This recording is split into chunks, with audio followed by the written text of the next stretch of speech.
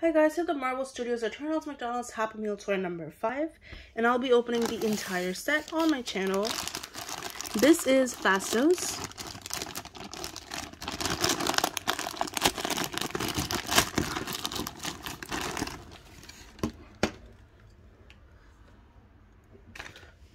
So here is our toy, a pretty cool figure overall and I like how this is a glittery purple instead of just a solid color and this looks cool as well.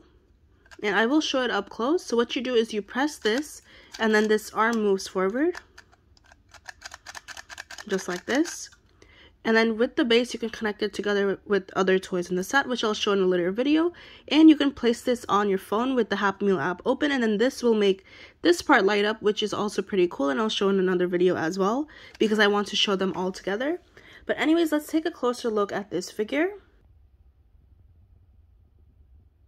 a nice figure overall.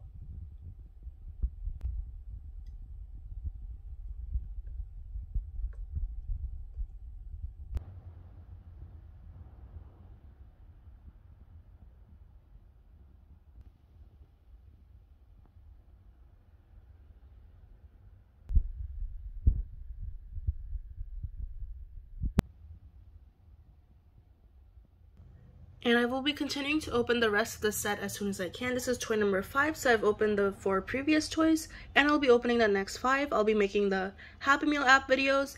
And then I did order the Marvel Eternals Funko Pops, but they got delayed to next month. So I have no idea when those are arriving, but I did want to make a video of Happy Meal Toy versus Funko Pop.